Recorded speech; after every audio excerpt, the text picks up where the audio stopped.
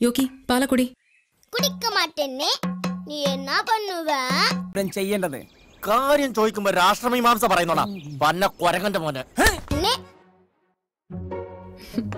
இப்ப நான் குடிக்கிறேன் ஆனா ஸ்கூல்ல என்ன பண்ணுவேன் அ, என்ன பண்ணுவேன் കോടതി നിയമം ലംഘിച്ച് ജില്ല വിടാൻ ശ്രമിച്ചതിന് നീ കുറെ നാൾ അകത്ത് കിടക്കും. സാധാരണ ഞാൻ ജ- ജ- ജ- ജ- ജില്ല വിട്ടില്ലായിരുന്നല്ലോ. വിടണ്ടല്ലോ?